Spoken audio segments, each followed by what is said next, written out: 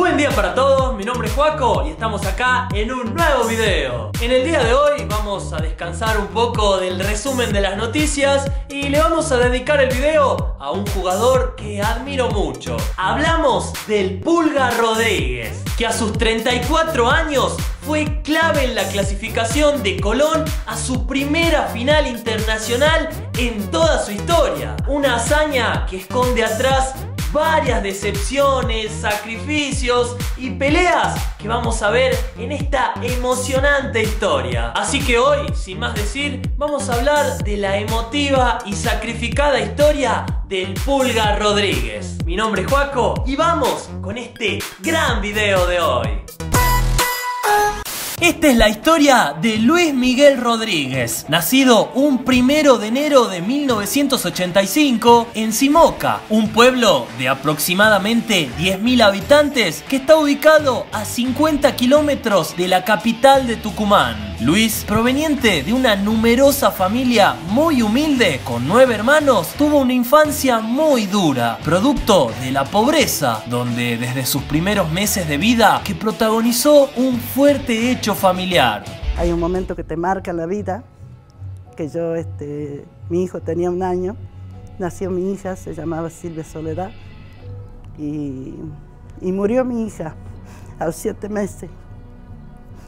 Entonces Miguel quedó ahí, como esa gran parte, llenaba el vacío ese de mi hija, que me costó mucho enfrentarlo porque no es fácil para nadie. No me encontraba y yo decía, bueno, total, ya es tan grande. Me levanté una de esas noches porque no teníamos luz a corriente, no habían tirado un cable que nos habían puesto los vecinos y y me levanté decidida a, no vivir más. Creía que ahí estaba la solución. Y lo miré a todo y me levanté y cuando yo me levanto, nunca me di cuenta que él venía por tras mío y me tiró de la pollera. Yo ya estaba agarrando el cable que era una noche esas de mucha agua. Y así fue como Luis Miguel desde pequeño se hizo muy importante en su familia, además de estar pendiente en lo que necesitaban, ayudando a su padre y hermanos como pintor, albañil o lo que hiciera falta para que no falte el pan en su casa. Aunque a pesar de esto y de la entrega por su familia, la pasión que sentía por el fútbol lo era todo y no veía la hora de estar pateando una pelota en el potrero del pueblo. Su papá, al verlo jugar con tanto amor al fútbol, decidió hacer un sacrificio y regalarle su primer par de botines como una muestra de apoyo. El par de botines fue un par de botines que me compró mi papá. ¿Viste los botines Proyoma? Que estaban en aquel tiempo. Eh, me compró de la feria, costaban 30 pesos. Un sacrificio hizo para comprarme un par de botines me lo trajo porque tenía la pelota y siempre rompía las zapatillas, rompía las zapatillas, todos los días pateando. Y bueno, habló con mi mamá y le dice, le voy a comer un par de botines.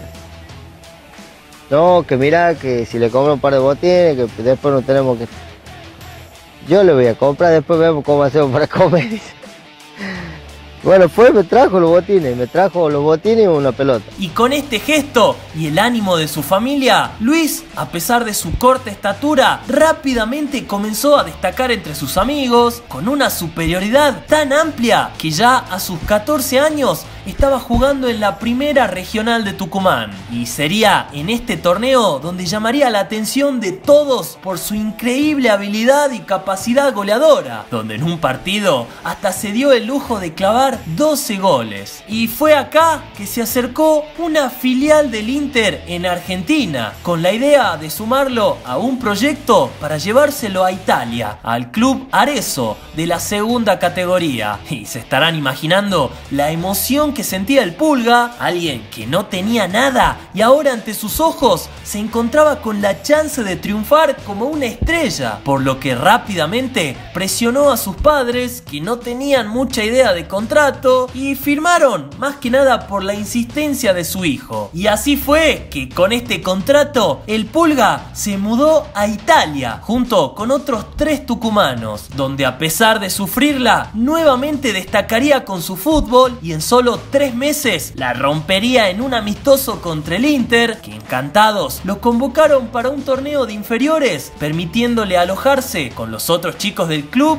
en la pensión oficial. Una experiencia que para su desgracia solo duró ocho meses, porque la persona que lo representaba decidió devolverlo a Tucumán para la supuesta filial. Una decisión que ni el Pulga ni su familia entendían, pero aún así confiaban en su representante que lo llevó hasta Italia. Meses después, Luis fue convocado para disputar un mundialito en España contra grandes equipos, donde a pesar de caer eliminados ante el mismísimo Barcelona, fue elegido el mejor jugador del torneo, por lo que un entrenador de la selección juvenil de México, fascinado por su talento, lo invitó a quedarse unos días más en España para disputar un amistoso ante el Real Madrid. Un amistoso donde el Pulga nuevamente sería el mejor jugador de la cancha y el Madrid, sin dudarlo, le pidió quedarse unas semanas más para entrenar en sus inferiores. El Pulga solo decía que sí, pero su representante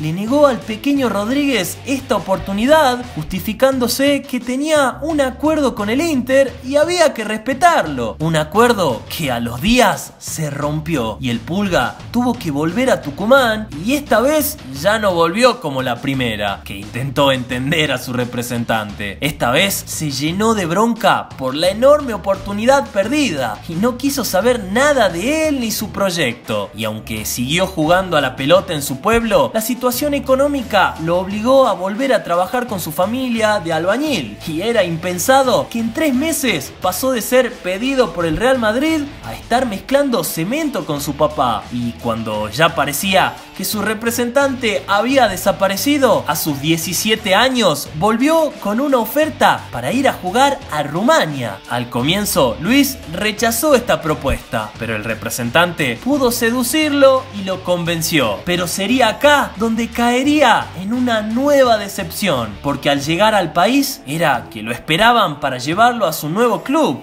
nunca llegó nadie. Estuvo tirado en una estación de trenes por más de 10 horas sin conocer el idioma, sin dinero, vivienda ni club, totalmente abandonado a la deriva. Esto fue un puñal en sus sueños, por lo que decidió, después de un larguísimo viaje de vuelta a su casa, romper todas las relaciones legales con su representante. Esta vez, en serio que no quería nunca más que maneje nada de su carrera pero se topó con un contrato al que aún le quedaban varios años para que finalice. Y ante esto, el Pulga tomó la decisión de no tocar más una pelota ni con sus amigos, enfocarse solamente a su familia, trabajar de albañil, de pintor y hasta de electricista. Sentía que le habían arruinado la vida como futbolista. Aún así, meses después de haber tomado esta decisión y empezar a trabajar, lo que ganaba no le alcanzaba para ayudar a su numerosa familia y se vio obligado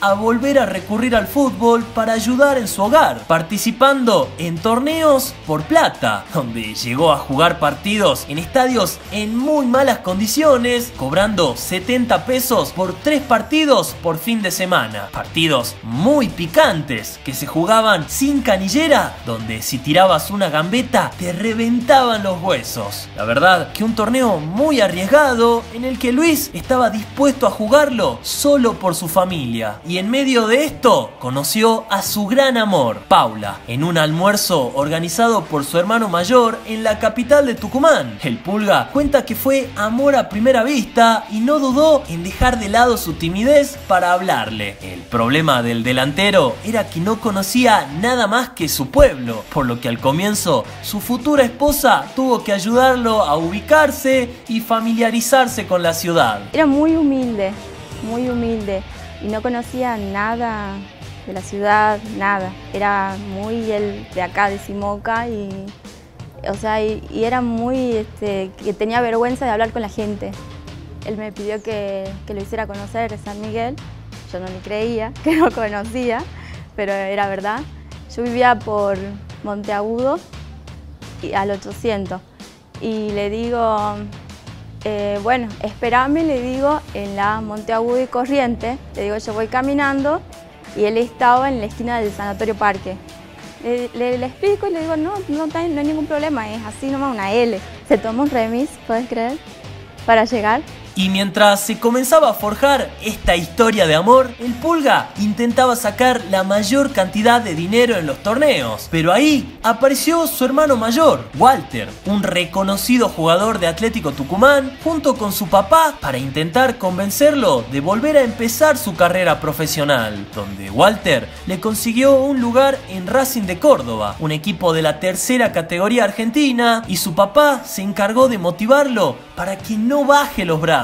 Mi papá nunca conoció a su padre y su mamá se murió cuando tenía solo 8 años. Él tuvo una vida tremenda, pero salió adelante porque era un luchador. Nosotros somos 9 hermanos y él tenía que mantener a 11 personas y en mi pueblo mucho trabajo no hay y ese espíritu fue lo más importante que tuve para no bajar los brazos e intentarlo de nuevo. Y con este apoyo, el Pulga llegó a Racing en 2004, pero la adaptación le fue durísima. Encima, había muchos delanteros y le costó encontrar un lugar en los planes del entrenador a lo largo de la temporada. Aún así, Racing logró ascender a la B Nacional, pero a pesar de este ascenso, el Pulga fue tenido en cuenta en muy pocos partidos y quiso volver a Tucumán, pero aguantó un año más donde las cosas tampoco saldrían. Y Racing de Córdoba descendió y volvió a la tercera categoría y tras la crisis económica del equipo decidieron darle el pase libre a la Pulga, por lo que ahora sí ya se vio obligado de volver a su ciudad, pero ya con los ánimos por los pisos. Al llegar y ver a su padre,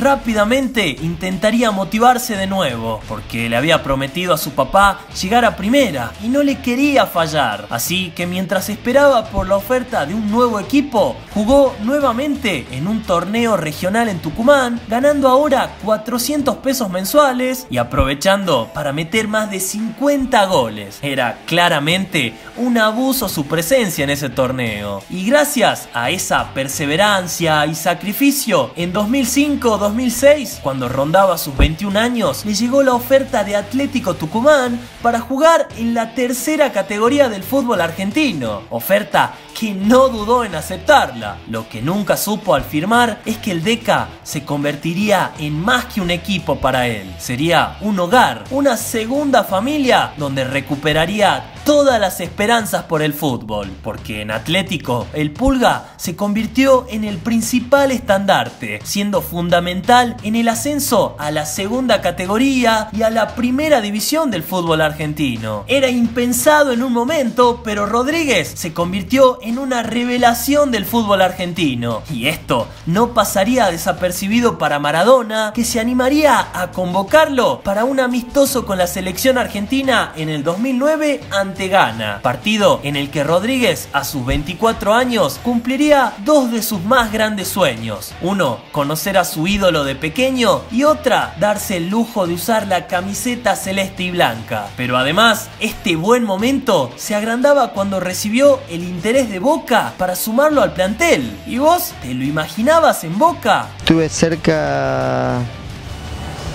de jugar en. De hacer el traspaso a Boca en el 2010, 2009. Pero bueno, por cuestiones de número no, no se arregló en ese momento y no, no pude ir. En la temporada 2010-2011, el Pulga pasó a Newell's, pero no lograría adaptarse, jugando muy pocos partidos, donde solo marcó 3 goles, aunque uno de ellos valió más que solo uno, porque fue un golazo a boca para el triunfo de su equipo 1 a 0. En el año 2011 volvió a Atlético Tucumán y lo ayudó para volver a la primera, pasando por su mejor etapa en el club, marcando goles de todos los colores, convirtiéndose en el segundo máximo anotador de la historia del DECA, con más de 130 goles y consiguiendo el subcampeonato de Copa Argentina en el 2017. Y tras haber vivido casi de todo con Atlético en más de 12 años defendiendo su camiseta, pasando desde la tercera categoría hasta la experiencia en Copa Libertadores a comienzos del 2019, 19 decidió ir por un nuevo desafío y mudarse a Santa Fe para llevar su talento con 34 años a Colón.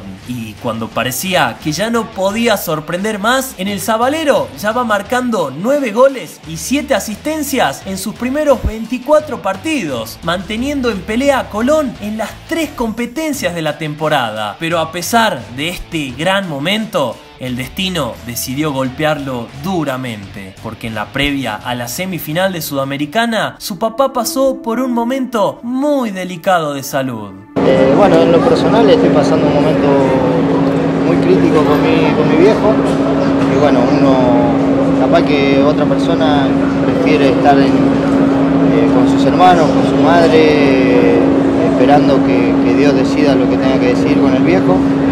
Eh, y no, yo decido estar acá, decido jugar, decido que de chico me dijo que quería verme jugar en primera y hoy por hoy eh, lo puedo hacer y bueno, no lo voy a dejar de hacer hasta que el día que pase algo. El Pulga, a pesar de estar muy mal emocionalmente, se enfocó en clasificar a la final, pero todo empeoraría porque solo cuatro días antes de uno de los partidos más importantes de su carrera, recibió la noticia de la muerte de su papá. Y la verdad es que no podía defraudarlo, no podía quedarme en mi casa a llorarlo cuando, cuando me, siempre me, me recalcó lo mismo de que quería que juegue. Entonces una muestra de agradecimiento sería estar en la semifinal pasada, estar en esta semifinal, en buscar el campeonato. Y con toda esta motivación, Luis intentó sacar fuerzas de donde no tenía para dedicarle el pase a la final a su papá. Y lo lograría con una enorme actuación en los dos partidos, convirtiendo dos goles, uno en la ida en Santa Fe y otro en Brasil. Además de hacerse cargo de una gran manera del último penal de la serie, que sin dudarlo fue dedicado para su papá, que el cielo debe estar orgulloso por el luchador en el que se transformó su hijo. Yo estoy muy contento y muy alegre hasta el momento, como he llegado y, y siempre voy a estar al lado de él. Dios la Virgen ayuda y, y sigue adelante nomás. Y esta es la historia del Pulga Rodríguez, un enorme jugador con una vida que podría haber terminado en cualquier lado, Real Madrid, en una construcción o haciendo feliz a toda la gente de Santa Fe. Sin lugar a dudas, lo que más destaco yo de su historia es su sacrificio, su lucha y que a pesar de todo nunca bajó los brazos. Pero y lo que importa acá también es vos. ¿Qué opinás? ¿Qué te pareció la historia de Luis Rodríguez? ¿Qué fue lo que más te gustó de él? ¿Y cómo crees que le vaya a Colón en la final ante Independiente del Valle? ¿Ganará? Decímelo acá en la caja de comentarios, nuestro gran lugar del debate, donde no puede faltar tu opinión o si no, tu me gusta a un comentario que te haya parecido gracioso, interesante o con el que vos lo leas te sientas identificado. Y tampoco te olvides de apoyar a esta gran comunidad del fútbol suscribiéndote o compartiendo este canal o esta historia con un amigo. Así seguimos creciendo juntos en esta enorme comunidad del fútbol. Y ahora, ya sin más decir, espero que te haya gustado esta historia. Mi nombre es Joaco, que tengan un buen fin de semana y nosotros nos estamos viendo mañana para una enorme, enorme jornada del fútbol. Así que nada, disfruten y nos vemos mañana. Nos vemos y chao.